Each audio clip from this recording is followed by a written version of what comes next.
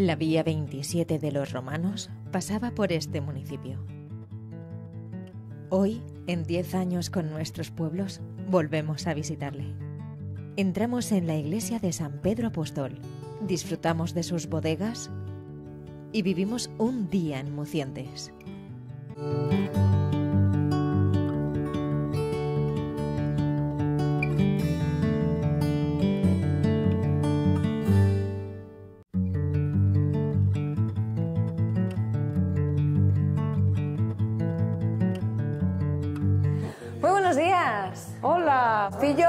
Hablando de algo. César Hola, ¿qué tal?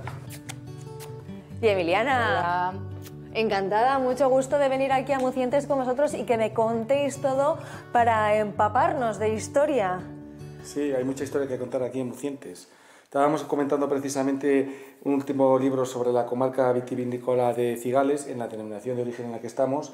Pero bueno, el propio pueblo de Mucientes por sí tiene mucha vinculación con el mundo del vino y hacemos muchas actividades en relación con el mundo del vino y la viticultura, ¿verdad, Emiliana? Sí, y además también, no solo con el mundo del vino, con el mundo del vino y más cosas. Ya te iremos mostrando y enseñando todo lo que tiene Mucientes, todo lo que hay que ver y, y seguro que nos quedamos cortos. Yo creo que ne- necesitaríamos como dos o tres programas. Madre mía, pues vamos, vamos a empezar. Nos vamos y hablamos. Venga. Gracias, César. Hasta luego, César. Por fin, Emiliana, visitamos Mucientes. Y es que de Mucientes hay que hablar y mucho. Tenemos mucha historia, tenemos que conocer el municipio. Pero antes de conocerlo, que vamos a hacer un recorrido por el pueblo, yo quería hablar contigo y que me cuentes cómo han sido estos años en los que has estado aquí, en este despacho, en la alcaldía. Bueno, pues eh, bien, bien y mal también, ¿no? Ha habido de todo, Ha habido de momentos de todo. todo. Eh, yo llevo ocho años en el- aquí en el ayuntamiento. Bueno, decir de entrada que para mí ha sido y es un honor ser la representante de, de los vecinos y vecinas de, de Mucientes. Eh, también agradecer pues, la confianza que ellos han depositado en mí para que yo durante estos ocho años haya- sea la alcaldesa, haya sido la alcaldesa y, y que le- y que les haya representado. Y espero haber estado a la altura de tan alta responsabilidad. Pues ¿cómo ha sido? Mm, Yo creo que en general bien. Mira, eh, desde el primer momento, mm, tanto el equipo de gobierno como los concejales que, que están en la oposición, desde luego, desde el primer momento, pues hemos eh, intentado, y así lo hemos conseguido, o sea, es de llevarnos bien, o sea, nos hemos llevado bien. Y entonces hemos trabajado conjuntamente y colaborado eh, conjuntamente. ¿Por qué? Porque lo que nos preocupa o lo que nos importa pues es hacer cosas por, el- por Mucientes, hacer cosas por el municipio e intentar eh, mejorar la calidad de vida de los, de los vecinos. Eh, por lo tanto, en esto que se mm, desde el primer momento, ¿no? Quiere decir que hemos practicado el, diálogo, el diálogo y el consenso, que son cosas muy importantes para trabajar en política. Dicho esto, pues bueno, pues luego a lo largo de, de estos och- ocho años, bueno, pues ya lo iremos viendo, pero hemos remodelado el edificio, el edificio de la Cruz, hemos empezado también este último año a pavimentar eh, alguna calle, que lo primero que hemos hecho ha sido terminar de renovar y hacer toda la renovación de las redes, todas las redes de abastecimiento, de saneamiento y demás está, está todo, prácticamente está todo nuevo. Eso es muy importante porque tú lo que tienes que garantizar también es una calidad del agua y una calidad de agua para los vecinos. Tú cuando abras el grifo en tu casa, que el agua que te llega, pues llegue en unas óptimas eh, eh, condiciones. ¿Cómo se hace? Pues quitando las redes antiguas, poniendo redes nuevas y tal. Bueno, Mucientes somos un municipio de cerca de 700 habitantes. Estamos muy próximos a, a Valladolid, estamos a 11 kilómetros en Valladolid, o sea que en coche eh, pues se tarda 10 o 15 minutos en coche. Afortunadamente tenemos un buen servicio de transporte público y entonces cada, cada hora hay un autobús, ¿no? Autobús que sale desde Cigales, de Cigales viene a Mucientes, Fuensaldaña y en Valladolid. Y en esa idea de, de dar servicios, pues el municipio tiene una escuela infantil eh, de, para los pequeñines, ¿no? de, cero, de, guardería. Tenemos colegio. En el colegio, eh, pues eh, yo creo que aproximadamente ahora pues habrá unos 28, 28 niños de infantil, de primaria, secundaria, hasta que luego van al, al instituto. Pues hombre, yo a mí por lo que me cuentan, mm, la calidad de la enseñanza bien. Los niños yo creo están muy bien y muy a gustos y muy contentos en el colegio. Y la calidad bastante buena, porque claro, mm, hay tres profesores mm, para 28 niños, pues casi como que tenemos clases, clases mm, particulares. Entonces yo creo que la atención, eh, la calidad de la enseñanza y tal, pues también yo creo que es mejor, ¿no? ¿Cómo es ser una, eh, una alcaldesa de un municipio reducido? tiene sus ventajas y sus inconvenientes, pero bueno, yo creo que más ventajas. Aquí nos, aquí nos conocemos todos, nos conocemos desde pequeños. Que, que luego también hay un componente, componente de afectividad, inconvenientes, de, pues a lo mejor, oye, pues vas a la tienda o vas a comprar y dice, ahí de la que te veo, eh, pues te voy a comentar no sé qué. Bueno, pues está bien, bueno, pues está bien porque de la que te veo, yo muchas veces digo, bueno, subís al ayuntamiento y le decís, no por nada, porque es que se me puede olvidar, porque claro. tú estás en otra cosa, ¿no? Y a lo mejor pues luego se te puede olvidar. Bueno, Emiliana, sabemos que Mucientes es un municipio muy importante en lo que se refiere a la enología. ¿Cómo es el turismo y cómo es ese turismo enológico que tenemos aquí en el pueblo?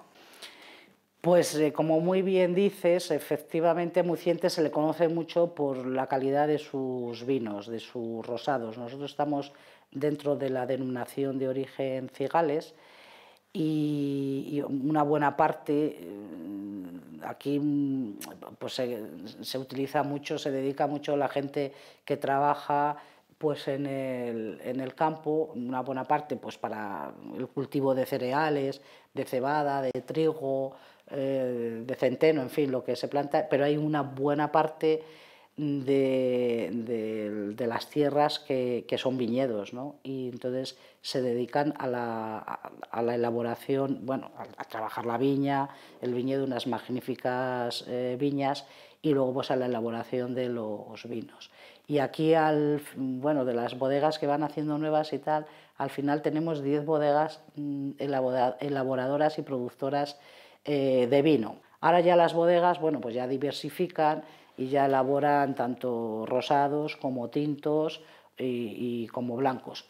Lo más conocido o lo que más identifica a la de Cigales y lo que más identifica a Mucientes, evidentemente es el rosado. Pues claro, a raíz de, que eres conocido por el vino, de que eres conocido por las bodegas, pues eh, la gente viene a vernos y viene a visitarnos.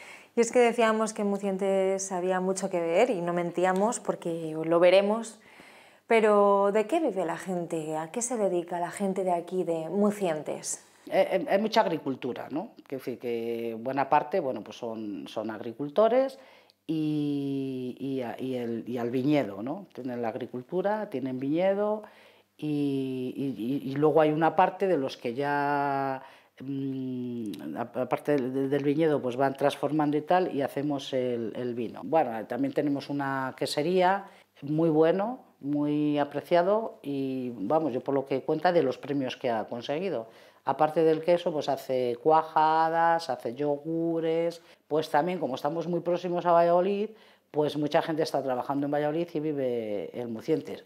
Por lo tanto, yo creo que la calidad, yo, yo así lo veo, ¿eh? yo así lo veo, yo creo que la calidad es óptima y la tranquilidad, ¿no? También. Emiliana, yo si te parece, nos vamos a dar una vuelta por el pueblo y todas esas cosas que estábamos hablando ahora pues las, vamos a, comprobar. Perfectamente, encantada.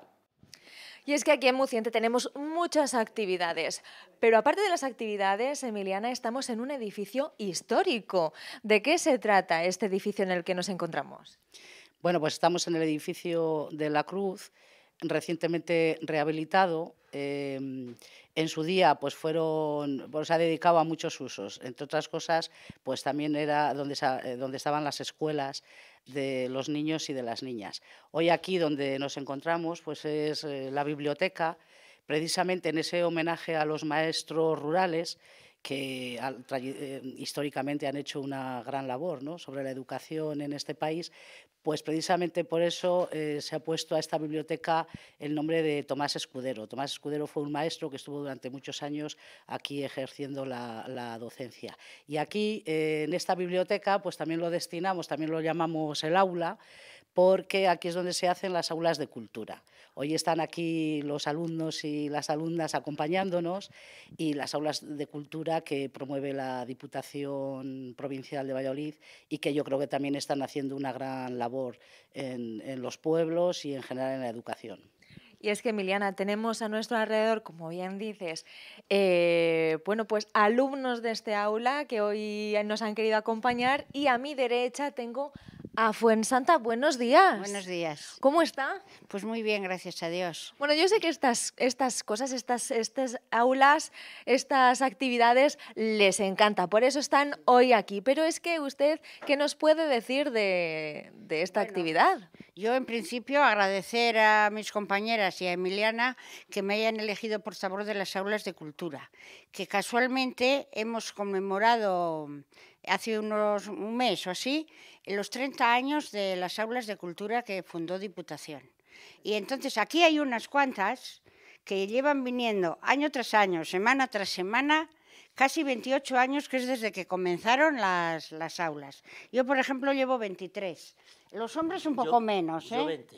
Sí, ¿Usted 20? 20 es que los hombres nos animan tanto. Ya les animamos y, están con nosotras muy bien. Son menos, pero bueno, están muy bien. Y tenemos eh, dos grandes profesores, como son Nacho y Mamen, que los cuales nos, con mucha paciencia, la verdad, nos enseñan eh, cultura general, nos enseñan historia y arte, también nos hacemos ejercicios de memoria, hacemos muchas actividades. Luego nos llevan de excursión para conocer a sitios nuevos. Nos llevan al cine, al teatro, a musicales.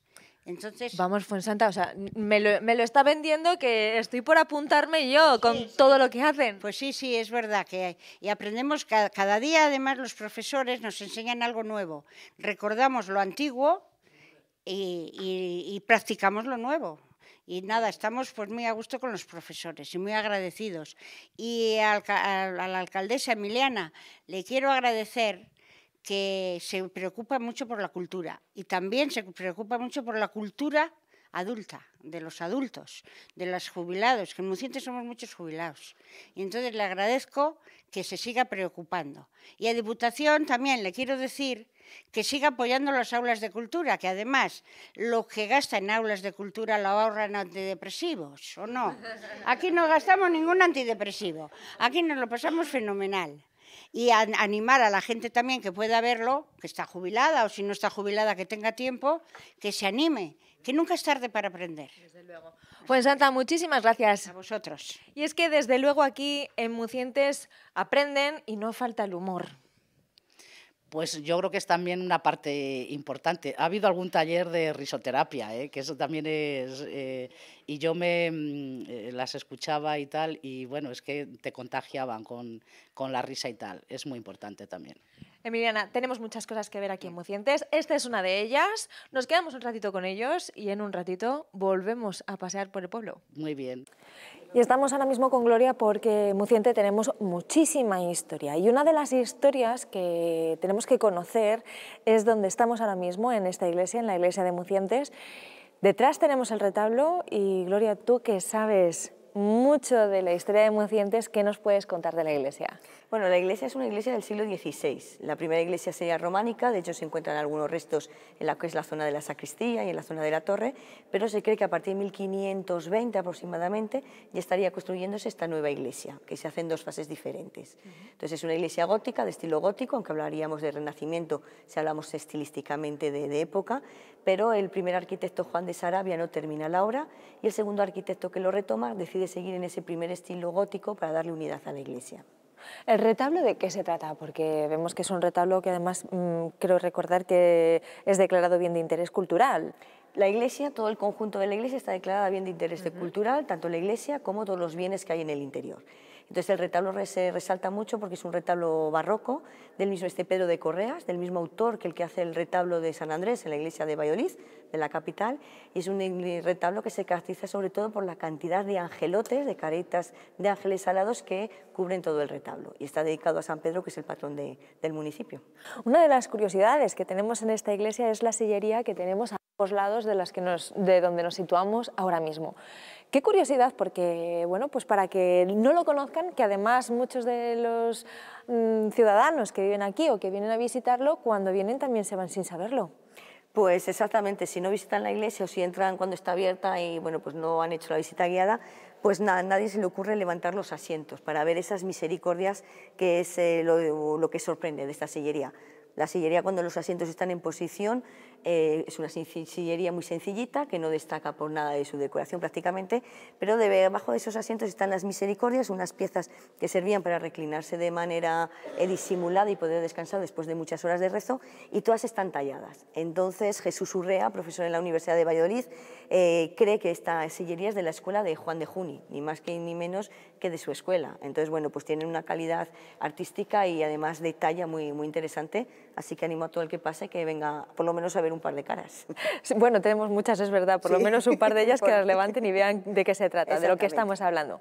En la entrada de la iglesia también encontramos eh, una lápida. Cuéntanos la historia porque no estaba ahí precisamente donde se encontraba anteriormente. Anteriormente estaba un poquito más hacia la nave central de la iglesia, pero la iglesia hace unos años se hace una reforma, evidentemente, para poner la calefacción, para que sea más cómodo asistir a los oficios, y al poner la calefacción levantan toda la piedra original del suelo y esta piedra estaba dada la vuelta, esta Era una lápida que encarga un obispo de, de Badajoz, que tenía que relación con la Inquisición, se la encarga para el enterramiento de sus abuelos. Los abuelos nunca son enterrados aquí, pero la piedra ya estaba hecha, ya estaba labrada. La piedra es un elemento muy caro, es escaso además en la zona y no se tira nada, se reaprovecha. ¿Qué se hace? Se le da la vuelta a la lápida y se pasa por encima. Entonces al levantarlo para colocar la calefacción, ven que la, piedra está perfectamente tallada, se conserva todo el relieve y la inscripción, deciden darle la vuelta y ponerle justo a la entrada para bueno, darle un poquito más de importancia histórica y sobre todo bueno, pues contar un poco esas eh, anécdotas que tiene la, la iglesia. Sí, además es curioso que antiguamente años atrás, este tipo de cosas a lo mejor no eran tan interesantes como lo que tenemos ahora. Y una de esas cosas tan interesantes son historias que se van contando sobre los lugares donde nos encontramos y es esa puerta que tenemos que supuestamente era, como llamáis aquí, un segundo cementerio que tenemos en la iglesia. Exactamente. La gente sigue llamándolo cementerio, aunque ellos nunca lo han visto, ni siquiera los más mayores y era porque ahí se enterraba, eh, bueno, es un segundo cementerio que habría en Mucientes, habría tres, uno medieval, este y bueno, el, del actual, que se lleva ya a principios del siglo XVIII-XIX, y entonces la puerta es la puerta que se conoce como de los novios o de los casados, porque tradicionalmente en muchos lugares de España, y aquí se mantuvo hasta principios del siglo XX, los novios no se casaban dentro de la iglesia, entraban ya consagrados como marido y mujer y oían misa dentro del edificio. Qué curioso, Gloria. La verdad es que hay muchísimas cosas. Fuera de la iglesia también tenemos en Mucientes un castillo que, por desgracia, bueno, pues está en ruinas y no podemos verlo. Pero hay documentos eh, de ese castillo. ¿Qué nos cuentan? Pues nos cuentan que aquí estuvo Juana la Loca, Juana de Castilla, durante tres días. En España estuvo en muchísimos lugares. Entonces, ¿cuál es la importancia de su estancia en Mucientes? Que aquí paran para intentar inhabilitarla como reina. Aquí convocan a todos los procuradores del momento y entre ellos estaba el procurador por Toledo. Toledo históricamente ha tenido mucho peso en la política y entonces el procurador era Padilla, el padre del comunero. ¿Vale? para que veamos un poco la importancia. Y es uno de los que se niegan a firmar nada contra su señora para declararla loca y le amenazan con tirarle desde la torre de la iglesia. La reina nunca fue declarada loca, es verdad que decían que desvariaba un poco, que no seguía bien el hilo de la conversación, pero había jurado fidelidad a su señora. Entonces, al negarse a, firmar, no sale adelante este proyecto de inhabilitarla y sigue reinando hasta años después y al año siguiente moriría Felipe el Hermoso. Bueno, y para todos esos curiosos que estamos hablando de curiosidades, tenemos en la planta más alta de esta iglesia también un museo que vamos a ver ahora. Sí, en el coro tenemos una pequeña colección de arte etnográfico y religioso. Como digo, no son piezas de un gran valor artístico, pero sobre todo hablan de la religiosidad y las creencias que ha habido siempre en el pueblo. Pues vamos para allá, Gloria. Adelante. Y subimos a la parte de arriba de la iglesia. Eh, vemos la colección. ¿Qué destacamos de esta colección que se conserva?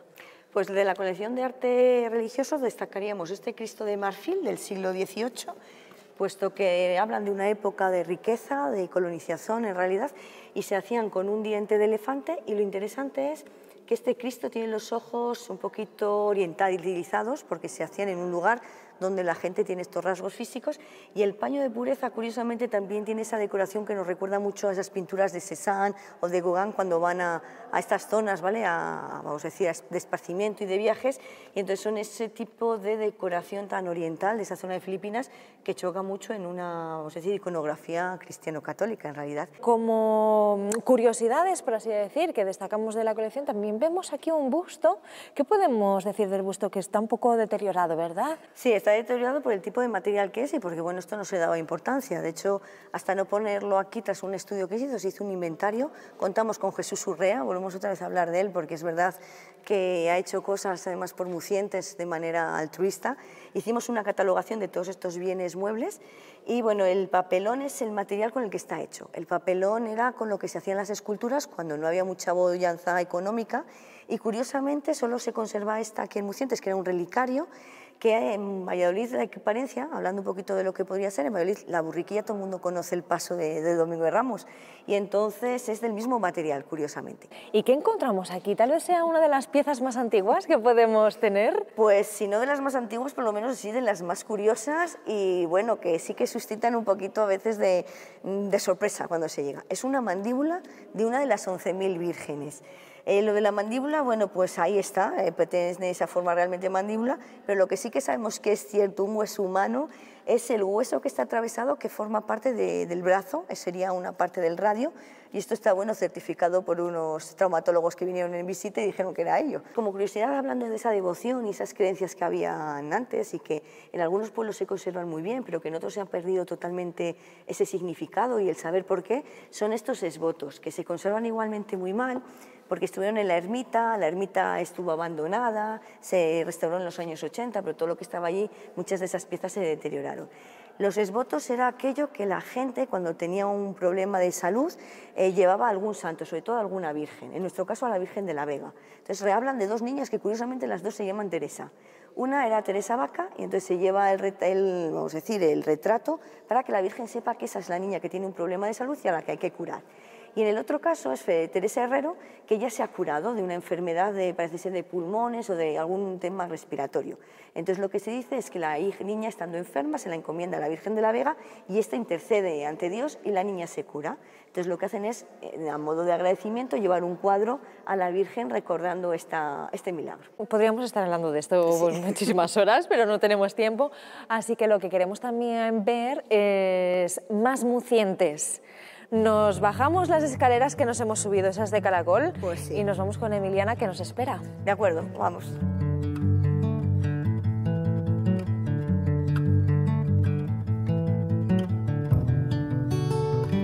Y es que todo evoluciona y también aquí en Mucientes los edificios se modernizan. María Ángeles, esto donde estamos ahora, que es un aula, ¿qué es lo que era entonces? Pues antes eran unas antiguas escuelas vamos, era la escuela del pueblo y ahora se ha reformado todo de tal manera que por lo menos tenemos un espacio donde poder pasar pues, pues, eh, con los niños, con las personas, con, con todo. O sea, ¿Qué se hace aquí habitualmente? Pues es una sala polivalente donde hacemos de todo habido y por haber. Lo mismo hacemos una exposición, que la Semana Cultural en la asociación se hace aquí todo, el chocolate, los carnavales como ahora, o sea, todo lo que te puedes imaginar. Manualidades, zumba, dibujos, todo. La sala se adapta a, a medida que a vayan todo. surgiendo. Semanalmente hay un calendario. Sí, sí, sí, sí. Donde hay horas y aquí pues en cada hora se hace una actividad. Esta exposición es para todos los públicos, de un fotógrafo uh -huh. y imagino también que se intenta captar la atención de gente de fuera del pueblo. Sí, la verdad que aquí se hace un montón de exposiciones y no precisamente de aquí. Hace poco también hemos tenido una de Tordesillas, fenomenal, del hierro, o sea, que es que es de todo, no hace falta que, precisamente seamos de, de, de aquí del pueblo. Y es que aquí en Mucientes no hay tiempo para el aburrimiento, porque no, tenéis no, no, de todo. No, ya te lo digo yo. Yo no hace tanto que estoy aquí, llevo 14 años, o sea que yo me he venido de Valladolid. Pero aquí, desde luego, gente que me conoce de Valladolid dice, pero si es que no paras, digo, es que aquí todos los días hay algo. Ah, normalmente, ¿cuál es la gente que más se anima? ¿De qué edad es la que más se anima a la gente aquí en el pueblo? Pues hombre, hay de todo. Hay de todo, depende de los talleres y todo que pongamos, pero la normal es de los 50 para arriba, yo creo que se anima más. La juventud pues ya tira más pues, a otro, tipo, de actividades, otras cosas, claro. La gente que nos acomodamos a estar aquí los fines de semana, no queremos bajar a Valladolid, pues somos los que nos animamos a hacer pues, pues cosas aquí.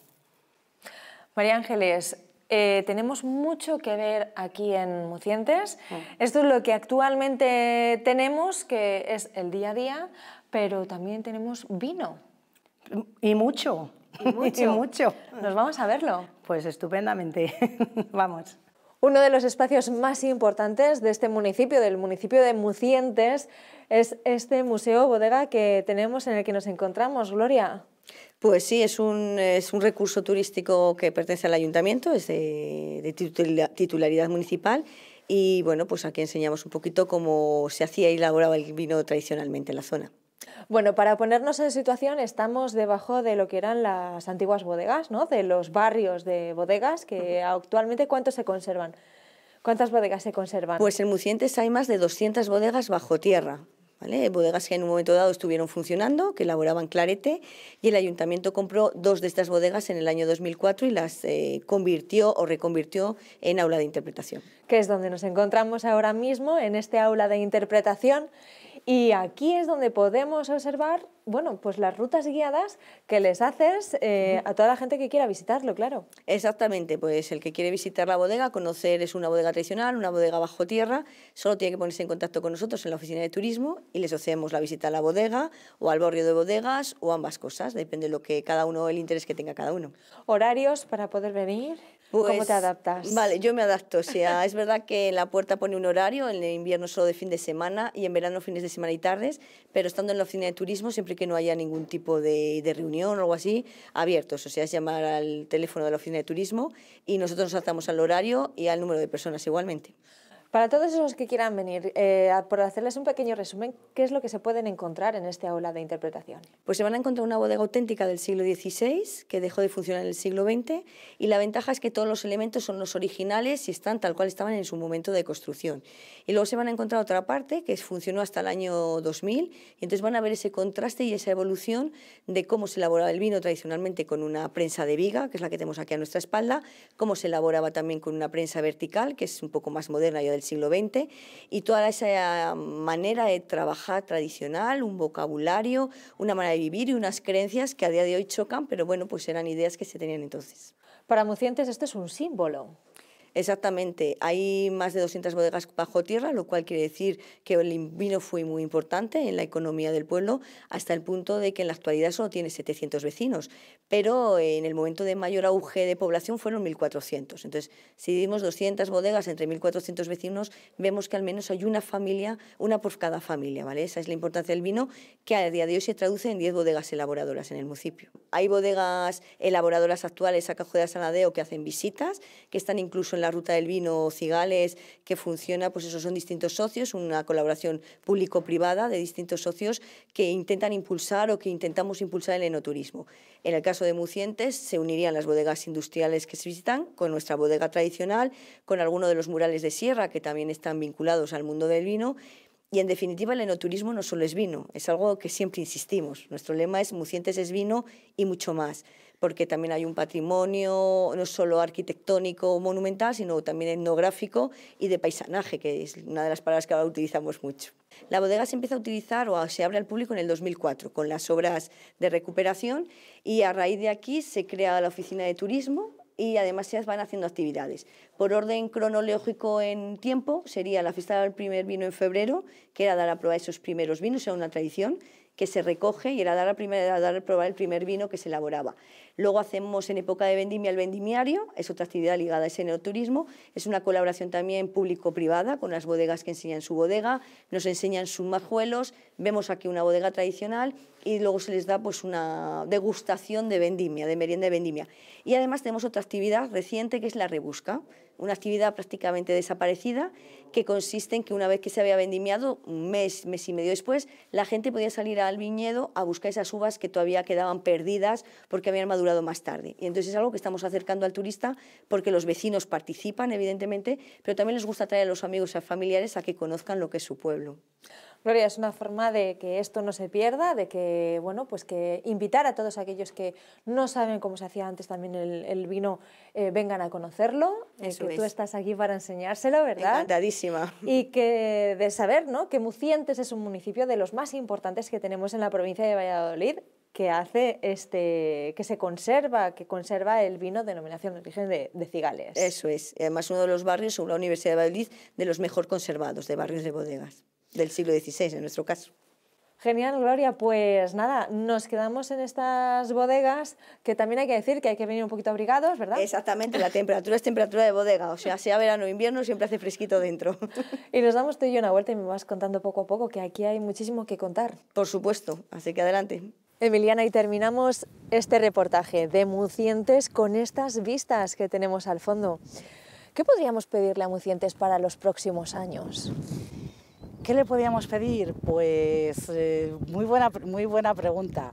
Sobre todo que sigamos mm, conviviendo bien, con tranquilidad, en paz y tal. Por cierto, ¿te gusta el pueblo? Me encanta Mucientes. A que es precioso. Hay que, no hay me que digas decir que, no es, vamos, precioso. Yo antes ya le he dicho a Gloria que en cámara le hemos dicho que hay que invitar a que venga la gente a conocerlo, ¿eh? que yo creo que sí, yo creo que hay muchas cosas de, en general de, de Castilla y León, de Castilla, en Valladolid en concreto, y hay muchos pueblos con grandes atractivos y muy desconocidos. No hace falta irse muy lejos para pasar una mañana, una tarde, un fin de semana y tal.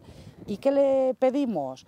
Pues seguir trabajando por y para el pueblo y seguir yo creo que haciendo iniciativas interesantes, como las que hemos venido haciendo a lo largo de estos años en el municipio, seguir trabajando, y digo, para el para el pueblo, para los vecinos y lo que pidan los vecinos. Por lo tanto, seguir mejorando la vida y la calidad de nuestros queridos vecinos mucenteños y mucenteñas. Que seguramente, son. Sí, muy amables y seguramente agradezcan que todos estos años que vengan sea así como dices.